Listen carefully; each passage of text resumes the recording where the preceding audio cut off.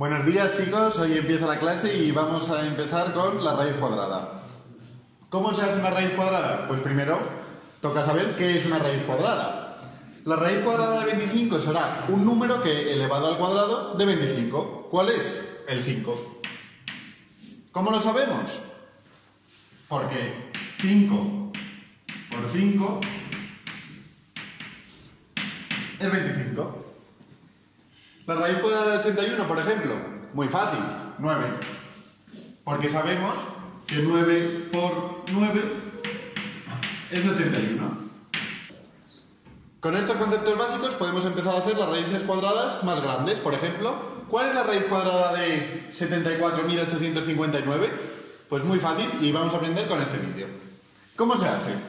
Se pone la raíz cuadrada así y se realiza una línea vertical hacia abajo que nos va a ayudar. Separamos el número que nos toca, en este, en este caso 74.859, en parejas, por un puntito, por ejemplo. Y ahora vamos a ir haciendo poco a poco. Cada piso nos va a servir para cada una de las parejas. Empezamos con el primero. El primer cálculo es muy sencillo. Buscamos un número que elevado al cuadrado nos dé la primera pareja. Solo puede ser un número del 1 al 10, porque van a ser números sencillitos y eso no lo tenemos que saber. 1 al cuadrado es 1, 2 al cuadrado es 4, 3 al cuadrado es 9. Ya nos hemos pasado. Entonces solo puede ser el 2, porque 2 al cuadrado es 4 y 9 es mayor que 7. Colocamos el cuadrado de ese número aquí y restamos. 7 menos 4, 3. Ya sabemos que la primera, el primer dígito de nuestra raíz cuadrada va a ser un 2. Bajamos la siguiente pareja. Ahora no perdáis atención. Multiplicamos este número por 2, el que sea. Un 2, un 4, el que tengamos aquí, lo multiplicamos por 2. 2 por 2, 4. Y hacemos lo siguiente. Queremos un número que sea 40 y algo por ese mismo número nos dé un número que se acerque a este. Entonces tenemos que ir tanteando. Hacéis vuestros cálculos en una hoja aparte y vais calculando. Mm, pues no sé, puede ser el 6, el 7. Entonces hago, vale, 46 por 6, ¿cuánto da? Pues 276. Quizá me puedo acercar un poco más. 47 por 7, que da 329. Ya se acerca bastante. Vamos a intentarlo con 48 por si acaso. 48 por 8 da un número que se nos va a pasar. Entonces, como 368 es mayor que 348, es esta la solución que buscamos. Entonces, hacemos esto.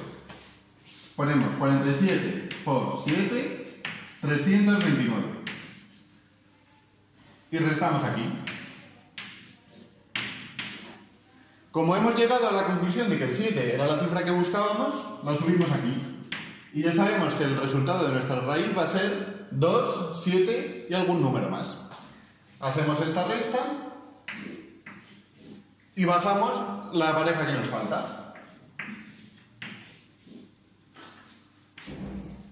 Hacemos otro piso porque hemos bajado otra pareja, lo multiplicamos por 2. 27 por 2, 54. Y hacemos lo mismo. Buscamos un número que sea 540 y algo por ese mismo algo y se acerque mucho a 1959. Pues vamos tanteando.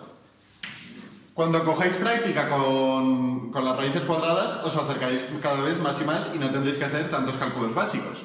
Nosotros, que lo hemos hecho antes, ya sabemos que es 54, 3. 543 por 3 1629. Lo colocamos aquí y restamos. Como sabemos que es el 3 el número que buscábamos, va a ser el 3 el número final de la raíz cuadrada. Hacemos esta última resta para saber cuál es el resto de la raíz cuadrada. Sabemos que el resto de la raíz cuadrada es 330 y sabemos que la raíz cuadrada es 273. Ya hemos llegado al resultado. ¿Cuál es la raíz cuadrada de 74.859? Pues 273 con el resto 330. Muchas gracias por habernos atendido y os espero en el próximo vídeo.